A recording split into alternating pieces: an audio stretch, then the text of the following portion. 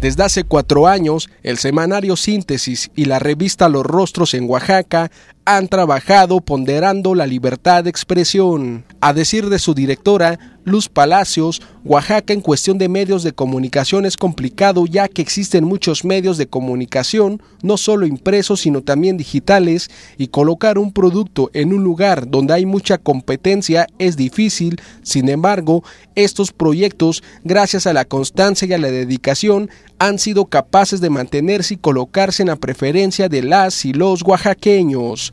Aseguró que a través de la objetividad y su línea editorial dan un proyecto diferente cuidando la imagen, el diseño y la información. Es un compromiso que ya tenemos desde hace muchísimo tiempo, donde ponderamos siempre la libertad de expresión y tratar de trabajar en el marco de la objetividad. Yo sé que de repente es bastante difícil, pero tratamos siempre de apegarnos a ello. En Oaxaca, 18 personas hacen posible este trabajo y desde hace 22 años, siendo Puebla la matriz, han logrado tener presencia en los estados de Veracruz, Chiapas, Tlaxcala, Hidalgo y Guadalajara. Las actividades son, son básicas y son fundamentales, ¿no?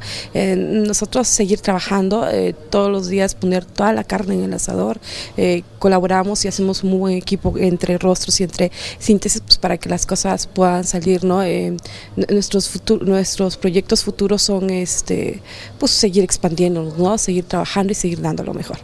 Con imágenes de José Antonio Reyes informó para MBM Televisión Ram Sánchez.